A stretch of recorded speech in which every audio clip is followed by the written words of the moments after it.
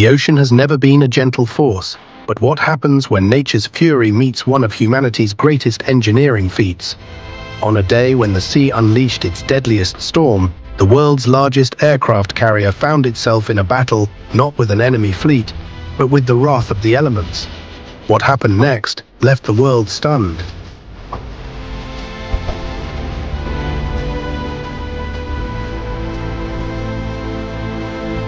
This ship, designed to withstand the harshest of conditions, had never encountered a storm quite like this.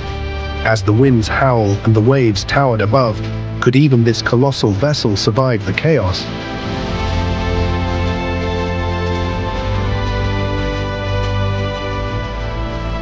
For decades, aircraft carriers have been symbols of military dominance and technological prowess.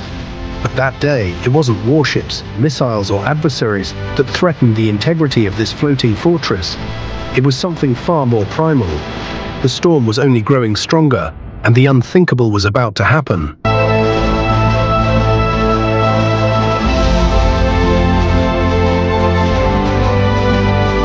But what really happened aboard the world's largest aircraft carrier?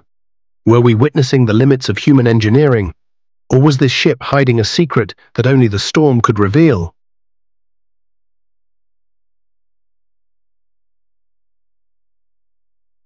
There are those who believe this storm was more than just a freak event. Some say it was a disaster waiting to happen. Others argue it was a test. A deliberate act to see how far technology can be pushed. What do you think? The world watched with bated breath as the largest warship on Earth was tossed around like a toy in a bathtub. And then, something unexpected happened.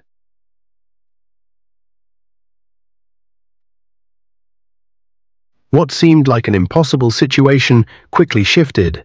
When most ships would have capsized or suffered catastrophic damage, this one stood firm. Why?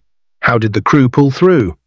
What lessons did we learn from this terrifying encounter with nature's fury?